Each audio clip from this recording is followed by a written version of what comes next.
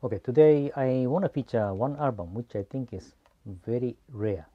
Uh, yeah, it's a reissue, but you know, even if it is a reissue, it's very, very rare. Hi, this is Takashino from Jazz Blues Japan. Yeah, as I said, you know, uh, today I got a very uh, rare album, a reissue. Uh, the album is this. Yes, I don't know whether you know it. This is the Dave Pike, Pike's Peak.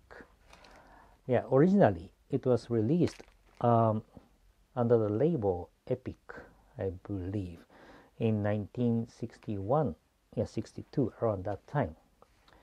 And um, the uniqueness of this album is that, uh, yeah, Dave Pike himself on vibe, but you know, uh, on piano, Bill Evans is there.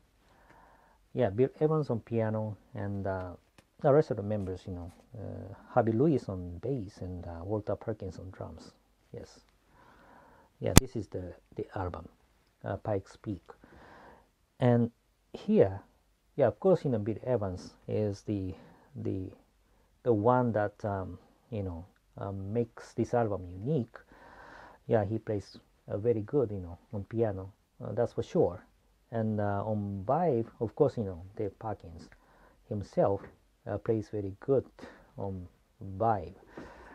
Yeah. Anyway, the sessions uh, and the tracks presenting this album are great, but somehow, you know, this album title is a kind of you know minor that not many jazz collectors pick uh, it up as you know one of the great albums on jazz.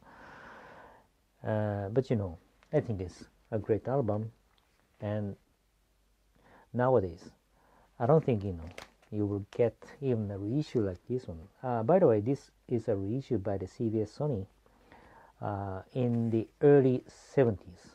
Yeah, in the early 70s. If you look at the label, yeah, they uh, they at that time you know used the um, this uh, orange uh, Epic label, uh, reissuing the Epic Jazz series at that time. Yeah, I think it's a, it's a classic, you know, uh, label that I love, and amazingly, you know, the early '70s reissues like this one, the pressing quality and the sound quality is very very good. You know, yeah, with this, the you know, uh, Pike's Peak the sound quality and the pressing quality really really good yes mm. So as i said you know because of the reality of this reissue uh, i don't think you will get it you know easily uh, on the market right now. Uh, so it's better for you to look into it. Yeah, because of this reality i think yeah um, it's better for you to get it whenever you find it on the market okay? A great, great album and a great reissue by the CBS Sony. Yeah, I think you know CBS Sony is the only company that reissued this great title in the 70s. I think it's only 70s. Yeah, uh, with different serial numbers, you know, they uh, reissued the same title uh, several times, you know, in the 70s.